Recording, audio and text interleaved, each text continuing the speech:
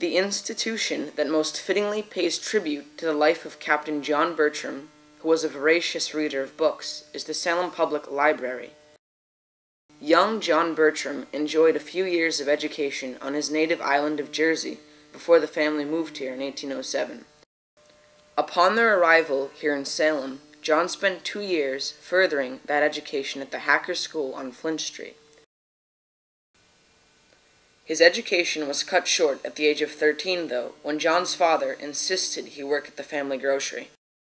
This experience provided him with valuable lessons. The grocery ultimately failed, as did many businesses in Salem during the years of the embargo that forbade trade with foreign ports. In 1870, Captain Bertram wrote of this unsuccessful chapter in his life.